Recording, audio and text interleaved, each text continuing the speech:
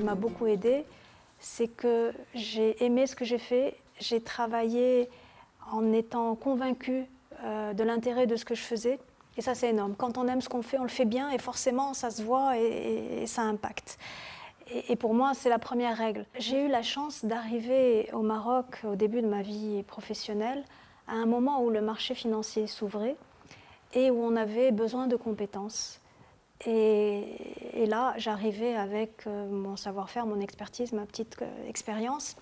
Et ça a été tout de suite euh, un accélérateur parce que les compétences étaient rares à ce moment-là dans le marché financier.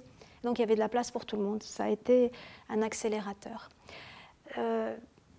dans l'autre sens, ce qui est un frein et qui continue à être un frein pour tout le monde, pour toutes les femmes, c'est que la société attend toujours des femmes qu'elles continuent, même si elles sont dans une fonction quelle que soit la fonction qu'elles occupent, bah, qu'elles continuent à être euh, maman, euh, épouse, euh, sœur, fille, etc. Et ça fait beaucoup, beaucoup d'attentes et c'est difficile à gérer pour toutes les femmes, ça l'a été pour moi. J'ai eu du mal à concilier entre mes, les différentes dimensions de ma vie, je me suis plantée souvent et, et ça c'est compliqué à gérer. Le meilleur conseil qu'on m'ait donné en tant que professionnelle, c'est un ami, Karim Rleb, qui un jour m'avait dit mais, mais, mais, tu n'as pas besoin d'être parfaite dans tout ce que tu fais. Quand on est perfectionniste, eh ben, ça consomme énormément d'énergie et, ça veut dire qu'on abandonne plein de choses à côté. Et son conseil a été vraiment un déclic pour moi. Euh, parce que parce qu'on ne peut pas être des superwomen sur tous les sujets, partout et que pour avancer dans la vie, il faut, il faut avoir conscience qu'on a besoin d'avancer sur toutes les dimensions en même temps. Et que si, si on met trop d'efforts dans une seule dimension, eh bien, ça sera forcément au détriment des autres et qu'il y a toujours un prix quand on abandonne une dimension de sa vie. Donc le meilleur conseil pour arriver à tenir longtemps, parce qu'il ne s'agit pas simplement de faire une charrette un soir, euh, il ne s'agit pas simplement de faire des nuits blanches pendant trois mois ou trois ans, il s'agit de tenir toute une carrière. Et pour tenir toute une carrière, il faut trouver un certain équilibre entre les différentes dimensions.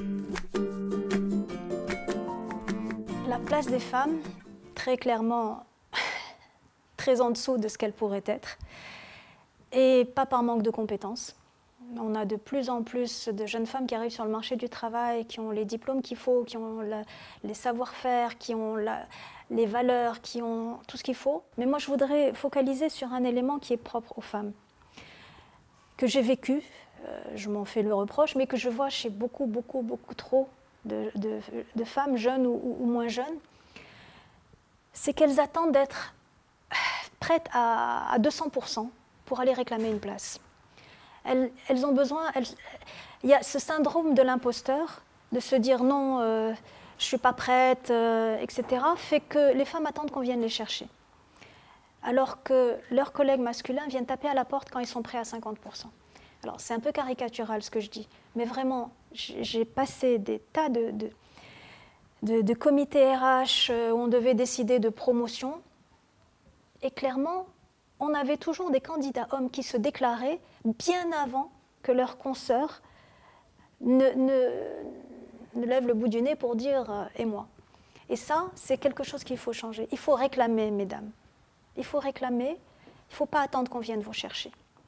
Et ça contribuera à, euh, à faire avancer davantage de femmes. N'essayez pas d'être parfaite. Et, pour ça, ça veut dire quoi? Ça veut dire qu'il faut gérer vos priorités. Et j'avais euh, une formule qui était les priorités tournantes. L'idée, c'est que euh, nous, sommes, nous sommes multiples, nous avons de multiples dimensions et on essaye d'avancer sur toutes ces dimensions. On, est euh, d'accord professionnelle, mais en même temps, euh, pour certaines mamans, pour d'autres épouses, euh, sœurs, euh, amies, voisines, filles, etc., etc. Et que tout ça, c'est des engagements, c'est des, des attentes. Et essayer d'être à la hauteur de toutes les attentes sur tous ces sujets-là en même temps, on n'y arrive pas et c'est frustrant. Et du coup, on, est toujours en retard, on est toujours en dessous et, on a une image de soi qui est dégradée parce qu'on n'est pas à la hauteur de ce qu'on aimerait être.